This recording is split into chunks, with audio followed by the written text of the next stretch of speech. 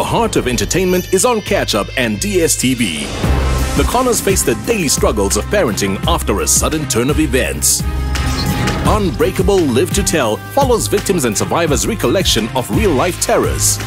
45 minutes is all they have to beat Bobby Flay with their scrumptious signature dishes.